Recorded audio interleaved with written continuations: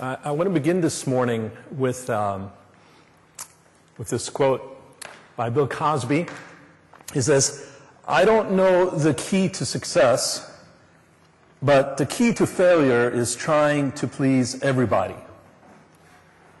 And uh, I've thought about that quote, and um, I think I know the reality of that quite well. It was about eight years ago, this time of the year, where I was dealing with failure. Um, I had attempted to do what Bill Cosby here kind of warns against, to, uh, to try to please others. And I did my best to try to make people happy. Um, I tried very hard to meet expectations that other people had. And at the same time, I was doing my best to protect myself from being criticized. And like the quote predicts, uh, I failed at that. Uh, that experience was painful. It was painful for me personally, but it was also painful for my family. And it also affected others around me.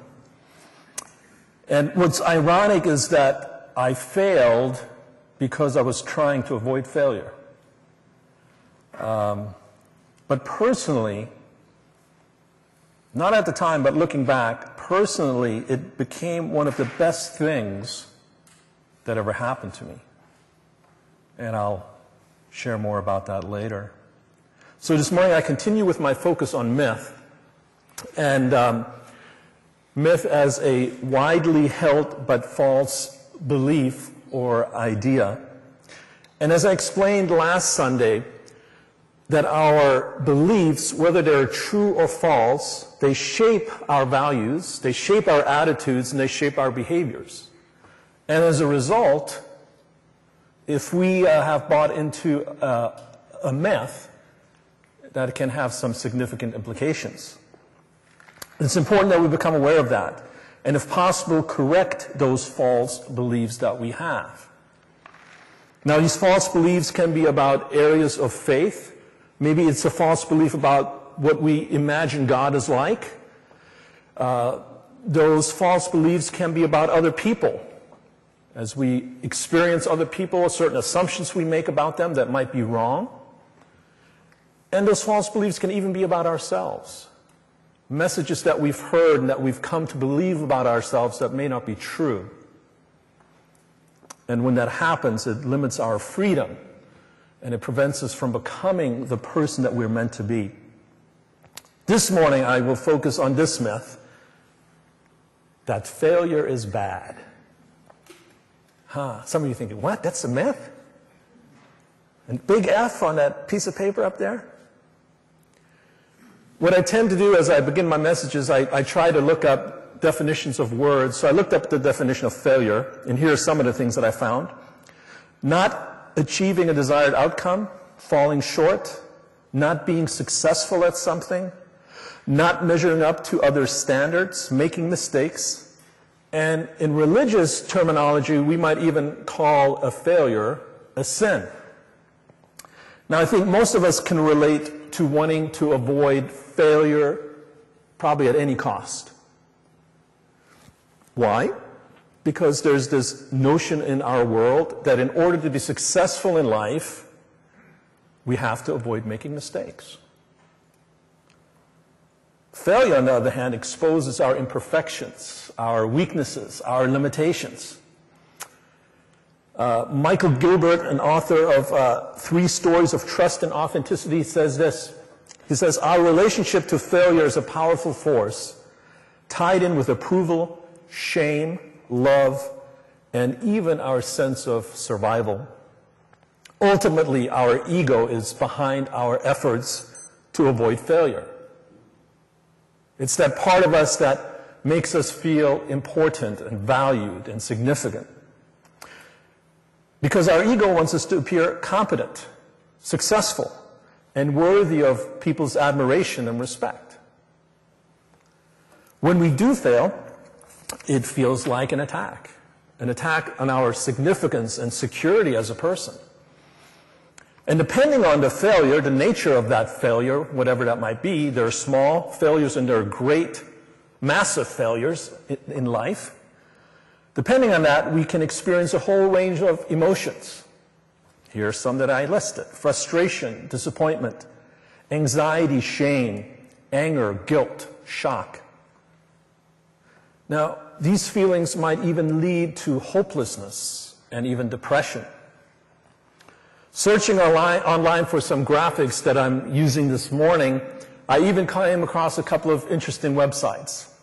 I don't know if interesting is the right word, but here, here is the title of two of them. The first one is, I am a complete failure. The other one was, I fail at life. And trust me, it's very depressing reading when you read some of the posts that people have written on there. So unfortunately, failure for some becomes so traumatic that it causes them to harm themselves. And sometimes they even harm other people. And again, depending on the nature of our failure, family and friends of ours are affected by that as well. They too might experience some of the emotions that we experience. Scripture speaks about failure, and, um, and one of the affirmations in Scripture is this we all fail. James 3:2 says, "We all stumble in many ways."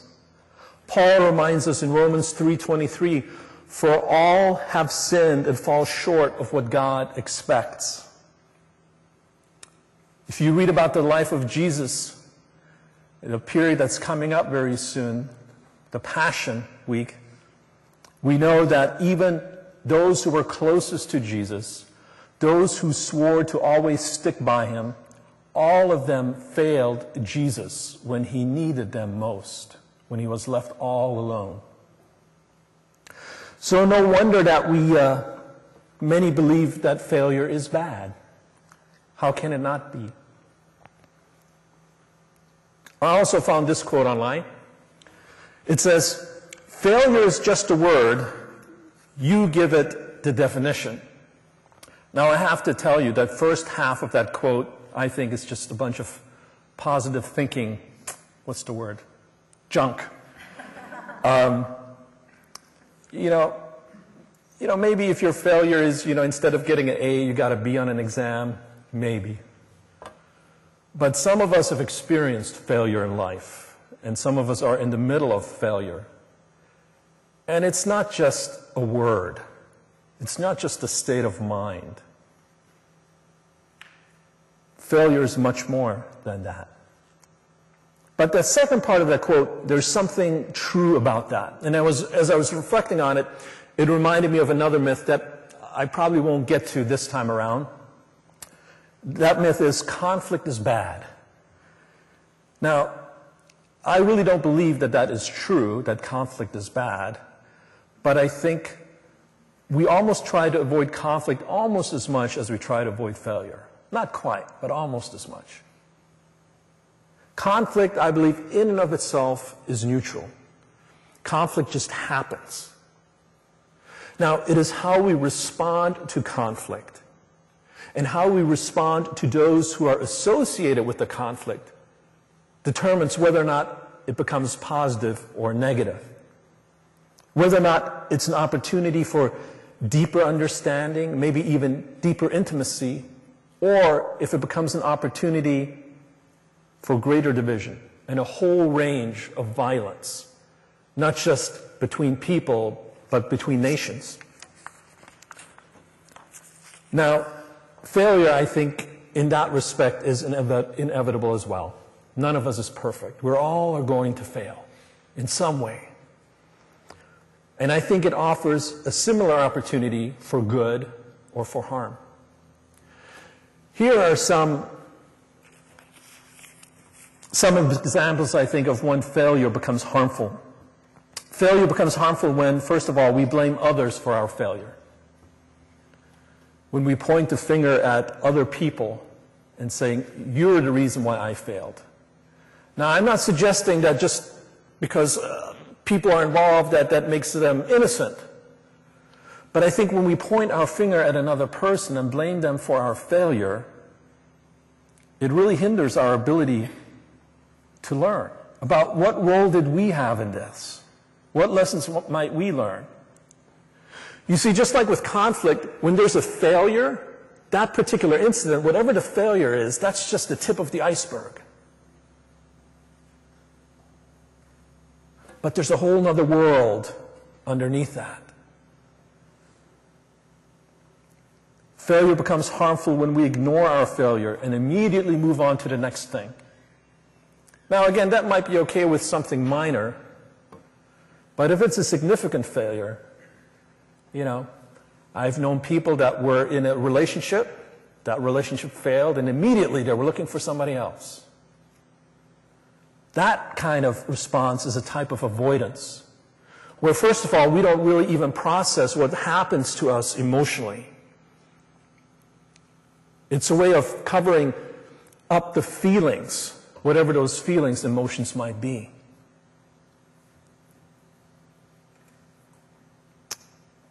Failure becomes harmful when we label ourselves or others a failure. Some dictionaries define failure as a person that fails. So if a person fails, that means they're a failure, according to that definition. I don't believe that. I don't believe that just because we fail at something, that means that we are a failure. That doesn't line up with my understanding of who we are as human beings. That doesn't line up with my understanding of Scripture. We are not our failures. Yes, we fail. Yes, our failures might have consequences for us and for people around us. But we do not become our failures. You see, there's this tension between honestly acknowledging the, the, the feelings and, and the consequences of our failure while at the same time recognizing the opportunity that we might be able to grow from that experience. When things happen to us and we label them as bad, what are the questions we begin to ask often? Why? Why me? Why now? God, why did you let this happen? What if we change that question around a little bit when we experience failure in life? What if we ask instead, God, what do you have for me here? What do you have for me here? What if you viewed our failure as an opportunity? What if you viewed it as a key that could open up and reveal something hidden, hidden from us, hidden from our awareness, hidden from our understanding, that could add truth and meaning and even a greater purpose to our lives? What purpose might failure have? What value can failure have in our lives? Here are some possibilities. I don't know if I'll convince you, but here are some possibilities. Failure, first of all, can allow us to learn from our mistakes. Maybe our assumptions were wrong. Maybe our approach. Maybe it was our attitude. Failure can become for us a lesson that allows us to grow and develop as human beings. Maybe a failure exposes an attitude within us. Maybe a failure, particularly in relationships. I, I, I remember there's, one gentleman, he talked about different relationships he was in, and none of them worked. And he had this excuse for that relationship, this excuse for that relationship. And after about three or four times, I asked him, I said, you know, what is the common denominator in all of these relationships of yours? And he realized, uh, me. I said, ah. I said, you think, you think it might be possible that you might have something to do with, maybe even just a little bit, with all of these relationships going wrong. Failure is one way. For some of us, it might be the only way for us to gain an awareness of something that we need to come to terms with, to understand about ourselves. This is what happened in my case with my failure. I began to realize that I was trying to please people. But that was just the tip of the iceberg.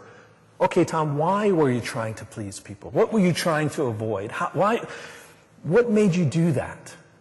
And as I began to explore that, I, I begin to gain a deeper insight about myself. Here's another possibility failure can expose our need for other people. In my case, when I experienced my, my failure, I had the support of my family.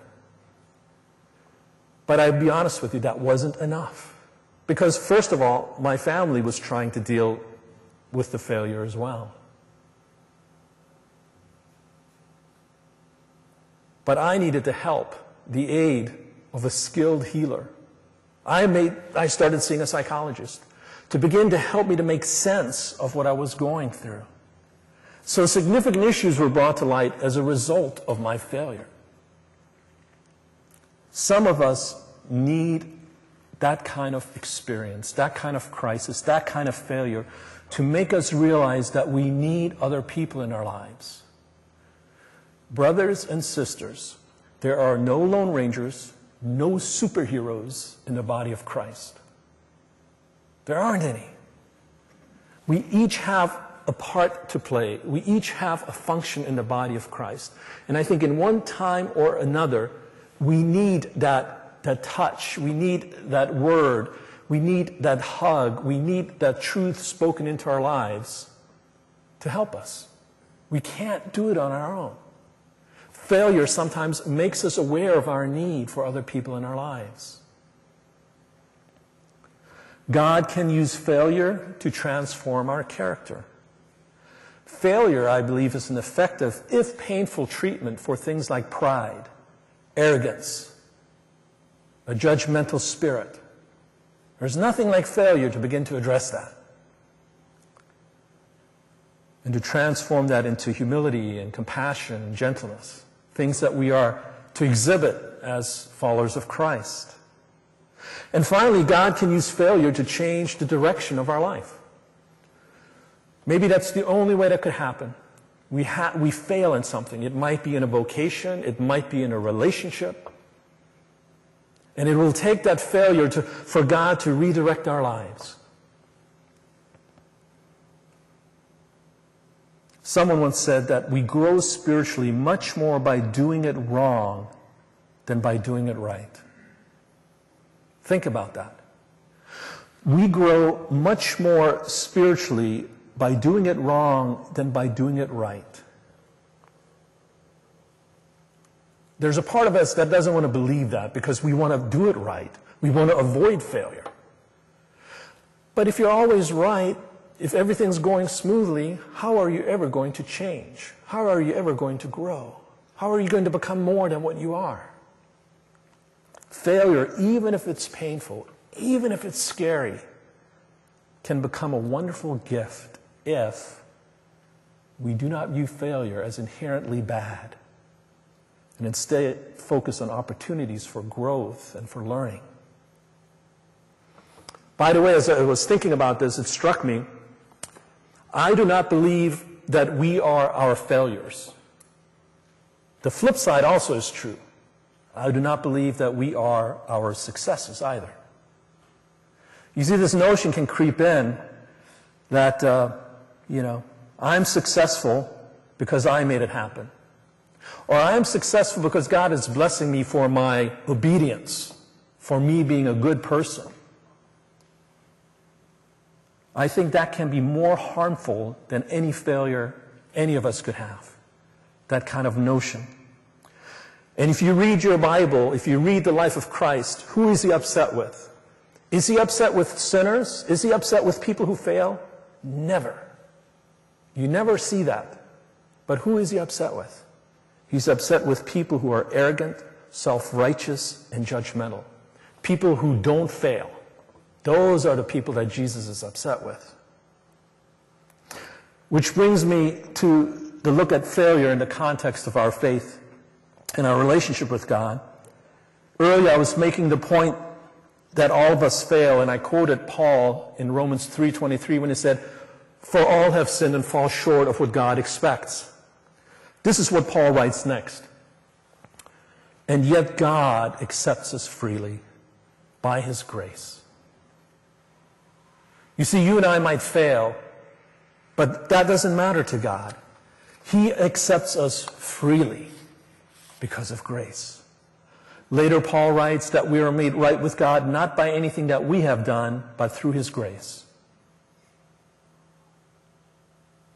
You know, we're not right with God because we lead moral, upstanding lives.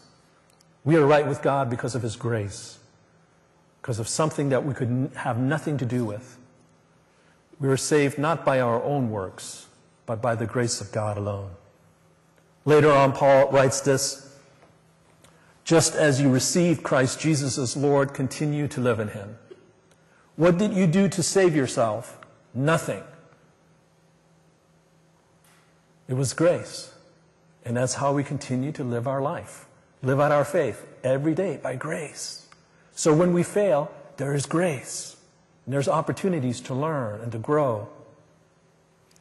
In yet another letter to the young church, Paul writes these words God said to me, My grace is sufficient for you. My power is made perfect in weakness. For the sake of Christ, then, I am content with weakness, insults, hardships, persecutions, calamities, and I would include failures. For when I am weak, through Christ, then I am strong. You see, I believe what allows us to transform painful failure into opportunities for growth and new possibilities is the knowledge of God's unconditional love and His grace towards us. No failure of yours or of mine will ever shock God, will ever surprise God, will ever cause God to love you any less. Because His love never fails. My own failure eight years ago was very difficult and painful and at times perplexing. Now, at the time, I was meeting with my own spiritual director, and I remember as I was going through this, we were meeting one day, and he said, Tom, I want to say something to you, and you might resent me for it. You're probably not going to believe it, but I'm going to tell you. This painful time that you're going through, it's a gift. And I said, Can I give it back? but you know, he's a godly man. Already then, he was in his early 80s. He's a wise man, and he was true. His words were true. It was a gift, it did become a gift. Out of that painful failure came a better understanding of who I was my strengths, my weaknesses, my gifts, my passions. Out of that came a more realistic awareness about my role and my responsibilities, my vocation. And out of that came a more mature relationship with God, one less built on wishful thinking than on reality and truth. It wasn't easy, but failure was not bad. It became a gift. And I want to encourage you with this. Whatever failure you have experienced, whatever failure you are experiencing, it does not have to be bad. It can become a gift for you as well. Let's pray. Lord, uh, we are so conditioned at times to think that when we fail, that we've done bad, that we've messed up. Lord, whether that comes from our society, whether that message comes from our culture, Lord, uh, help us to realize that failure is inevitable. It will happen to all of us. Big failures, small failures, and everything in between. Lord, before we begin to beat ourselves up or point the finger at others and blame them, Lord, help us to become still and maybe ask the question God, what is it that you have for me here? Lord, what do I need to understand, whether that's about me or about you? Is there a message here for me? But God, the most encouraging thing I want to pray for all of us is that we remember you hold us and our failures in your hands of love and grace. and you never let us go. Amen.